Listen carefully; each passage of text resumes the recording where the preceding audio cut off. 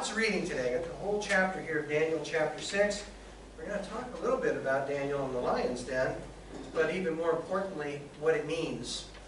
What it means. Consistent faith is the topic today. Consistent faith. So Daniel 6, verses 1 through 28. Here we go. It pleased Darius to set over the kingdom an 120 princes, which should be over the whole kingdom. And over these three presidents, of whom Daniel was first, that the princes might give account unto them, and the king should have no damage. Then this Daniel was preferred above the presidents and princes because an excellent spirit was in him. And the king thought to set him over the whole realm. Then the presidents and princes sought to find occasion against Daniel concerning the kingdom.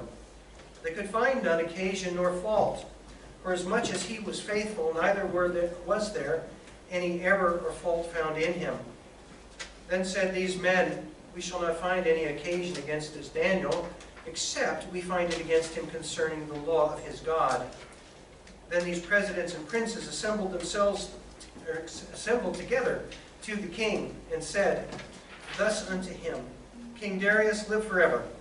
All the presidents of the kingdom, the governors and the princes, the counselors and the captains, have consulted together to establish a royal statute and to make a firm decree that whosoever shall ask a petition of any god or man for thirty days, save of thee, O king, he shall be cast into the den of lions. Now, O king, establish the decree and sign the writing, that it be not changed according to the law of the Medes and Persians, which altereth not. Wherefore King Darius signed the writing and the decree. Now when Daniel knew that the writing was signed, he went into his house, and his windows being open in his chamber toward Jerusalem, he kneeled upon his knees three times a day and prayed, and gave thanks before his God, as he did aforetime. Then these men assembled and found Daniel praying and making supplication before his God. Then they came near and spake before the king concerning the king's decree.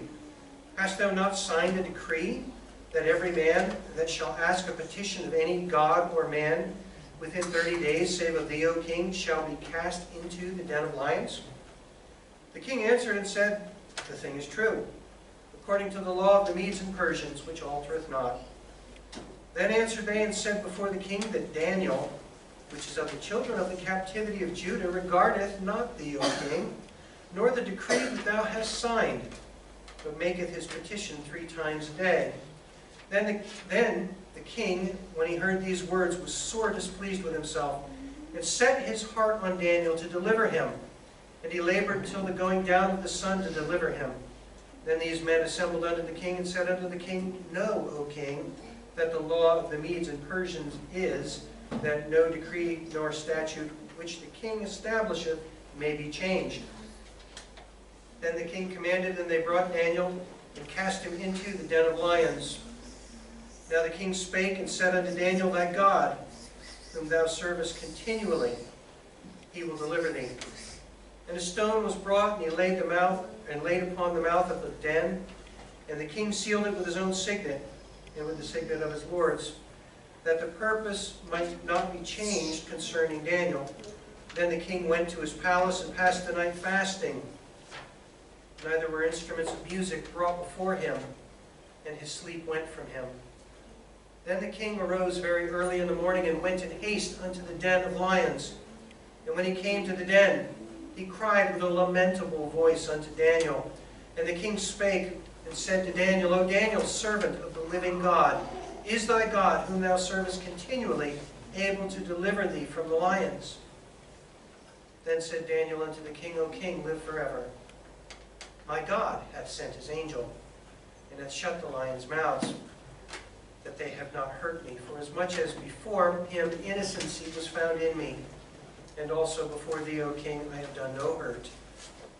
Then was the king exceeding glad for him, and commanded that they should take Daniel up out of the den.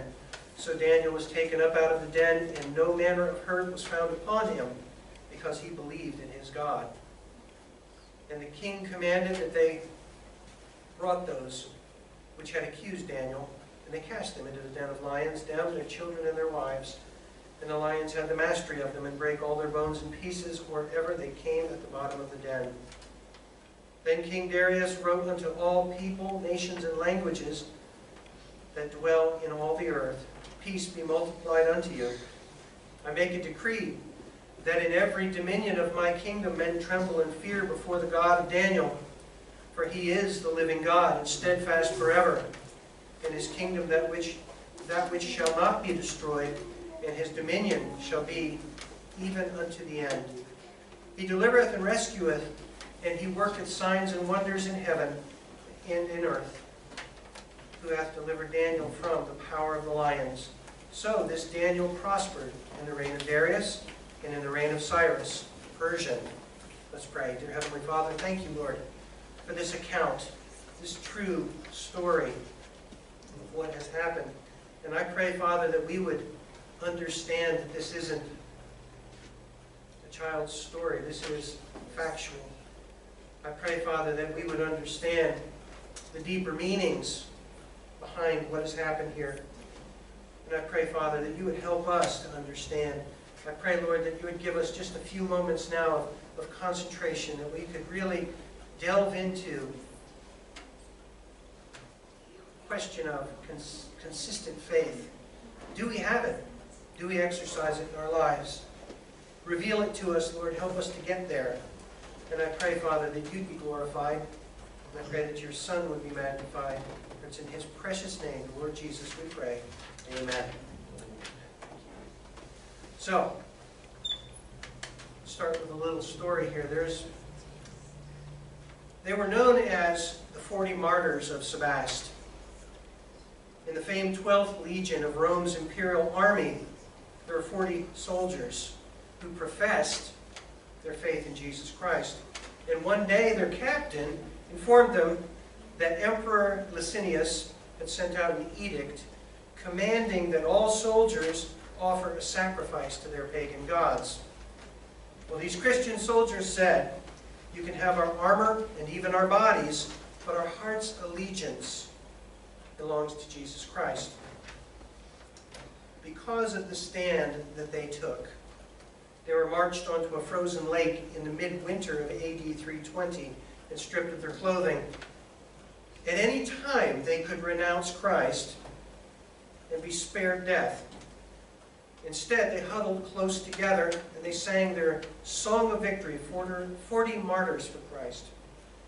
And that night, 39 men fell to their icy graves. When there was only one left, he stumbled to the shore and renounced Christ. And as the officer of the guard had listened and seen what had happened, he secretly came to believe in Christ. He immediately replaced the man who had renounced Jesus, and he walked out onto the ice, threw off his clothes, and confessed faith in Jesus at sunrise. The Roman soldiers found 40 men who had given their all for the cause of Christ. These 40 brave men demonstrated consistent faith. So did Daniel. So did Daniel. You know, several times it is said by Darius here that um, Daniel prayed continually. Continually, consistently.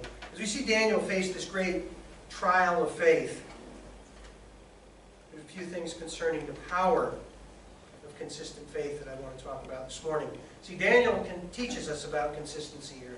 He teaches us that it does get you where you want to go. It does have a payoff that is where you want to be. It isn't so much about the start or the finish of it, it's the in-between that's so important. Kind of like an Oreo. Nobody likes the outside. You want to get to the middle. That's where it is, right? Now, the, the start and the finish are very small events in a race. But the race itself is everything else. It's everything. It's the running of it that God is interested in. The faithful way that we do it. Hebrews 12, 1 and 2 says, Wherefore seeing we also are compassed about with so great a cloud of witnesses, let us lay aside every weight and the sin which doth so easily beset us. Let us run with patience the race that is set before us, looking unto Jesus, the author and finisher of our faith, who for the joy that was set before him endured the cross, despising the shame, and is set down at the right hand of the throne of God. There is power, power in consistent faith. Consistent faith will be tested. You know, 2 Timothy 3.12 says, Yea, and all that will live godly in Christ Jesus shall suffer persecution. We know this. We've preached this a lot around here. And we understand life's not going to be easy. My wife and I were just talking about that. You know, there's a song called The Unseen Hand. And there's a line in there that goes, uh, as I go through this world of woe. You know, you think about that. You just stop there for a minute. What's he talking about? You know, we sometimes just gloss right over the lyrics of songs and we think, wait a minute, this world of woe, that's exactly what it is. All of this pain and suffering we see around us, all the trials that we go through, without Christ, it is a world of woe. It is a horrible place. We need the sustaining power of Christ. We need His grace upon us every day. There is power there. Now, if you choose to live for Jesus, holding nothing back, giving everything to Him, yes, persecution will come. But that's not a bad thing. That's not a bad thing. I, we can smile today. That's a good thing. And even though I can't see some of your smiles, I know you're smiling. I can see it in your eyes. But Daniel accomplished so much for the Lord. You see, Daniel was already a great man. He's already a great man, but God wanted to develop him even further. You know, in verse 3 it says, Then this Daniel was preferred above the presidents and princes, because an excellent spirit was in him, and the king thought to set him over the whole realm. He was even thinking about just giving him the whole thing, because he was so high in the king's eyes. He was so good. You know,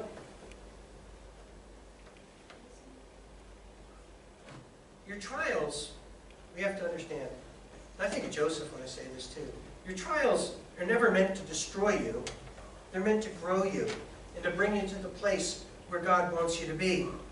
Romans 8:28, we know it well. We know that all things work together for good to them that love God, to them who are called according to his purpose. See, because of Daniel's trial, God received glory and honor. And as we faithfully stand in spite of our trials in life, God is honored by our faith in him. I would contend that we are as honoring to God through what we might think is a kind of simple or mundane everyday trial, as Daniel was in his, you know, very flashy and amazing and written in the Bible trial. You think about that. It's just as real to you when a loved one dies. It's just as real to you when some horrible thing besets you. And yet, it's the same God who's loving you and is going to sustain you that did the same thing for Daniel. You know, whatever circumstance we might find ourselves in today, we should be glorifying God in it. That's really it. And that's, that's one of the things I have found. You know, when you glorify God in the depths of your darkness and in your trial, it not only glorifies God, but it brings you up too. When you're glorifying God, God is honored. God pours out His grace upon you. God is pleased when you're doing that thing that He's told you to do at the hardest time. Whether therefore you eat or drink or whatsoever you do, do it all to the glory of God. See, verses 4 and 5, I'll read them to you one more time. Then said these men, We shall not find any, or, yeah, we shall not find any occasion against this Daniel, except we find it against him concerning the law of his God. Then these presidents and princes assembled together to the king, and thus and said thus unto him. And then they go on to tell Darius, they basically rat him out, tell him what, what's going on. Kind of reminds me of what happened to Shadrach, Meshach, and Abednego too. You know, there's always the rats around. There are always the guys that are going to tell on you. They're the ones, though, that ultimately pay the price. Now, so many, so many things popping up in my head. You know, I think about aim and I think all these different things. I got to stay focused here. Now, these men did not like Daniel. They were disturbed by his faith. It was making them look bad. He was so excellent, according to this. He was so excellent in, in the eyes of the king. And he was even being considered to take the reins of the whole thing. And the king was probably going to sit back and just take his ease and watch. And they knew it. The people there, these, princes, and they, they, they did not like Daniel at all. Did that ever happen to you, by the way? That ever happen to you at work? Like you do a really good job, because I, I assume, don't you all do a very good job. And people sometimes that don't do a good job are looking at you and they're casting a bit of dispersion, maybe saying a little something behind your back, or trying to make you look bad so they can kind of bring them up. Well, this is it in spades. This is it. Absolutely, these guys are upset and they just want this, they want Daniel gone. And so, as the world watches us, and we walk through our own lion's dens, they can see faith at work. And I'll tell you what, when you're living for the Lord and they see that faith, it truly touches their hearts. They don't understand why we can be happy in a trial. When Bobby showed up here with his bicycle a couple weeks ago, he couldn't understand why we would just help him with no price tag, why we would just be friendly to him with no strings attached. That's God. The world doesn't understand. That's God. Matthew 5, 16, let your light so shine before men. They may see your good works and glorify your Father which is in heaven. And isn't that what it's all about? Glorifying God. You know, when we glorify God, we don't have to worry about us. When we're glorifying God, God is happy with us. And when we do that, the blessings, just watch them come. He will help you through anything. He will give you what you need, and most of the time, much more. You know, you see, we're, we are a living epistle before man. You know, 2 Corinthians 3.10 says that. Ye are our epistle, written in our hearts, known and read of all men. Don't think for a minute the world doesn't see it. Don't think that they don't see your peace in, in hard times. I know there are people at my work that are very disturbed about this whole COVID thing. And it, and it takes concern, yes. But I'm not going to lose any sleep over it. I know my Lord's under control, got it all under control. I know things are going to work out in His way. And so I don't sweat it. Even under my mask in that kitchen, sweating physically, I don't sweat it spiritually. I let it go because it's not my concern. That's God's concern. We've prayed about it, and we can leave it there. And that's, that's what the world doesn't get. They, don't, they see your peace, and they want you to be agitated. They see your actions, and they don't understand why you're not jumping up and down and swearing and pulling your hair out. But I don't have to. I don't have to. And by the way, it doesn't do any good anyway. It just makes you more angry. But we will receive our help from the Lord. You know, consistent faith will also testify. You know, sometimes the testimony of our faith un under trial is louder than our words. Sometimes I can I can talk about faith all day long, but if I act on my faith and people see that, that's much more powerful. This is just kind of telling you how to do it, but then there's the doing of it in life. And that's what's really important. Uh, I'm going to read verses 10 and 11 to you from our text again. Now when Daniel knew that the writing was signed, he went into his house, and his windows being open in his chambers toward Jerusalem, he kneeled upon his knees three times a day and prayed and gave thanks before his God, as he did aforetime. Then these men assembled and found Daniel praying and making supplication before his God. You know, in the, in the scripture that Arnold read in Psalm 55 today, spoke of David praying three times to the Lord. Consistent faith, every day, praying to the Lord. It's not a bad thing to set times to pray, as long as it's not mechanical. You know, it's, it's a good thing to have something set where you're always going to do it. It's, it's, it's good and it's practical and helpful for you. Um, you see, Daniel did not change what he did. Even to make the king happy, even to appease the princes and the presidents and to make that law have power over him. He didn't do that. He was consistent in spite of the danger. And by the way, he opened the windows just like he always did. He let people see him. He was not ashamed of his God. He was going to do it. And the pressure to conform was there, even at the command of the king, and yet he did not conform because God had precedence in his life.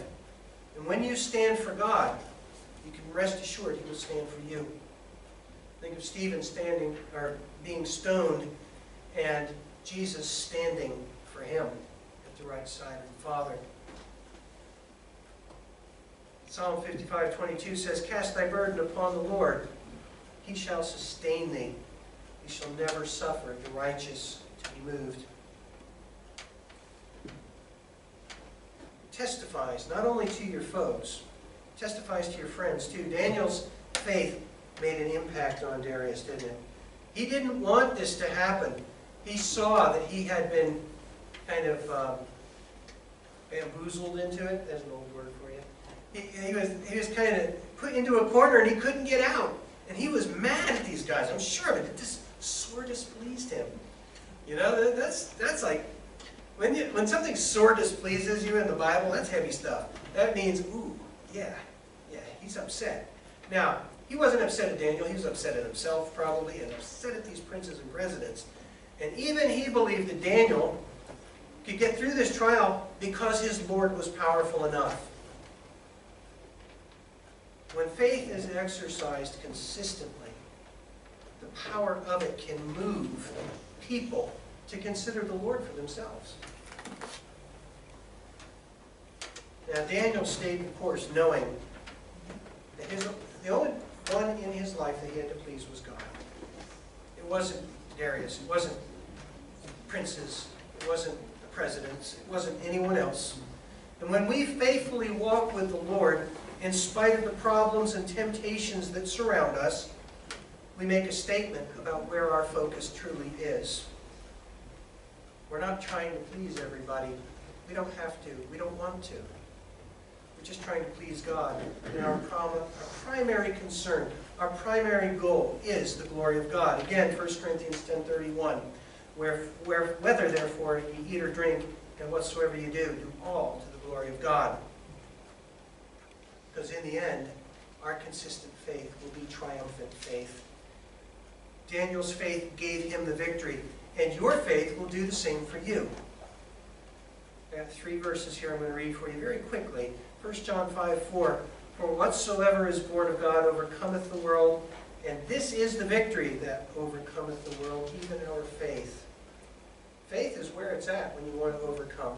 Faith is the victory. You know, 1 Corinthians 15, 57 says, Thanks be to God which giveth us the victory through our Lord Jesus Christ. And then 2 Corinthians 2.14, Now thanks be unto God, which always causeth us to triumph in Christ. Always. And maketh manifest savor his knowledge by us in every place. See, Daniel's faith in God allowed him to enjoy sweet victory over the lion's den. From the dangers that he had, from the darkness, from King Darius, from his detractors, and even over himself, he had victory. His faith carried him through the trial, and Daniel learned this, that every single saint of God can learn this same thing. God will either get you out of your trial, or he'll give you grace in your trial. And what he doesn't take away, he makes a way to take. See, faith can still part your sea. Faith can still fill your barrel. Faith can still give you those loaves and fishes. It can multiply them. It can make you walk on your storm.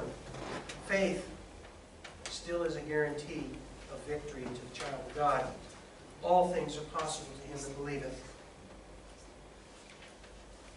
And ultimately, it gives you triumph over your adversary. David's faith, or sorry, David, Daniel's faith enabled him to see the lions lose their appetite. They just were there, around him. I saw a video the other day where some guy was up fishing in Alaska, and um, a bear came and sat next to him. Big old brown bear. Walked up, you can see, uh, uh, you know, this bear's to breathe real heavy, walks right up. It's a big bear. He's sitting there in a folding chair with a fishing pole, and there was an empty chair between him and the bear. And he's sitting there videoing this bear. This bear comes up and stands there, uh, uh, and then he sits. And I'm thinking, at any moment, that bear just might get an urge to be a little bit hungry and eat that guy.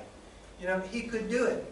But it reminded me of what the lions must have been like. And I think they were a lot hungrier, and there were a lot more of them around Daniel. But there sat that bear. And then he got up and he walked away. And I thought, the guy must have first off, the guy with their video on it must have nerves of steel. Either that or a really big gun. But whatever the case, he was sitting there videoing that bear, and then the bear moved on. But I think about it, the fear that most people would have, if you don't have the Lord, or you don't have some other thing that's helping you, like a big gun or a you know, lever you can pull and the bear falls in it. You know, if you don't have something like that in your back pocket, that's a scary situation, one bear. And I'm thinking, a den of lions. There's no way out. There's nowhere to run. And they're all starving. And you are what they like to eat. And so, it's all against him. So it's all, it's all the power of God. You see, he saw, Daniel saw, every adversary, to include the lions, defeated. And one day the saints of God will see all of the enemies of the faith fall too. Do you know what's funny? I don't really look forward to that. I wish they didn't have to go that way. I wish that people would get saved. But we know they won't. But we'll see it happen. We'll see them fall. That's why we should have a burden for them now. That's why we should be reaching out to any who. I um, was talking to Janine the other night on the phone, and um, you know, we did a little thing a while back, just a week or so back now, where she was asking the question, um, how do you communicate with God? And it's pretty fascinating. I did a little bit of a study for her and sent it off, and she did that with several friends and relatives. We sent it back, and we chatted about that. And um, you know, she's really you know, making some good points. And then we were talking about our own walk and our own faith. And I realized she was sad. She was depressed. She, she'd been stuck in the same place for a long time. And no prospect of really getting out of California anytime soon. Though Southern California, where she is, Long Beach, is not too bad a place to be stuck. Uh, and she's got a good place to live and everything, but still, she's lonely. She's lonely for people that really care about her and love her. And I thought, and I, and I shared with her, that she knows this too, but sometimes we all need reminders, that God is there for you. He is always there for you, even when you're in that den of lions, because I was studying this message out then. We kind of really related that a little bit to Daniel's situation. When he felt so alone, in danger, God gave him the grace and the peace and the knowledge of, of understanding that he was not going to be harmed. He was going to be okay through this darkest of situations. You know,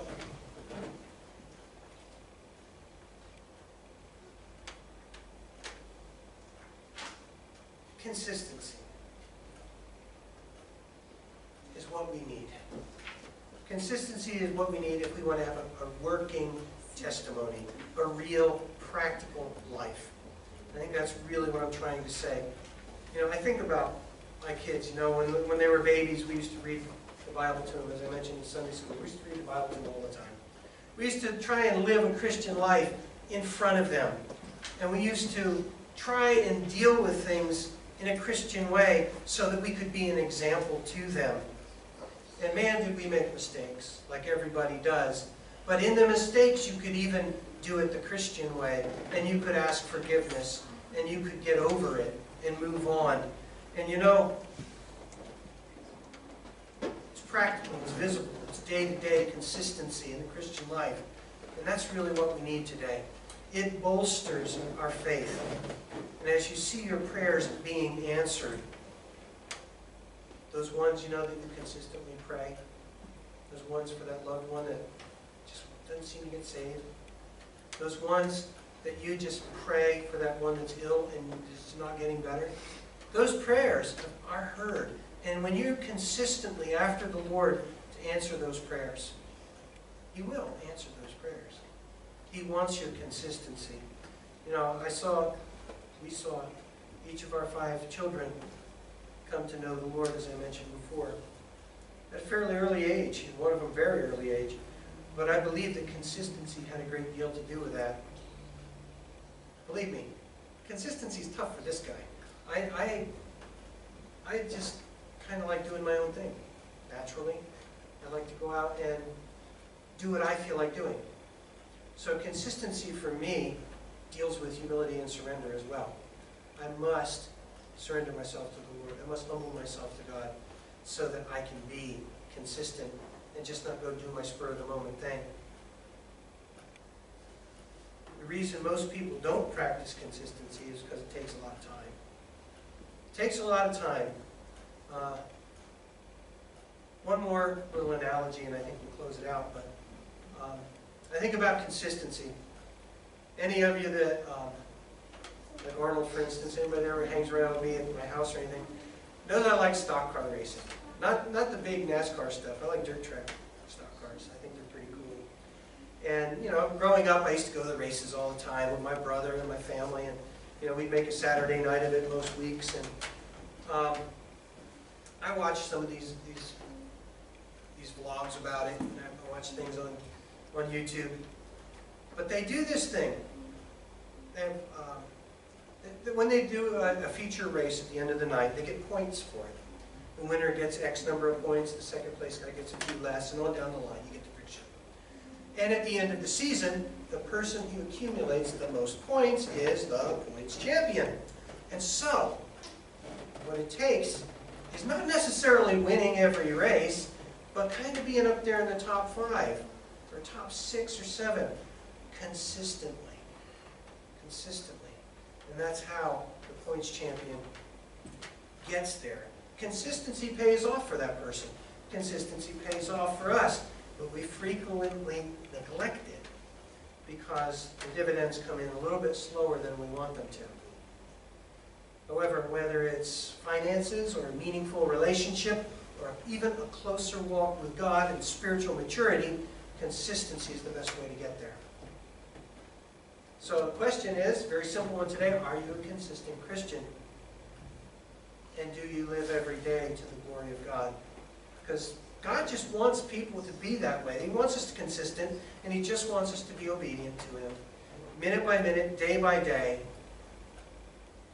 And is that us? Is that me today?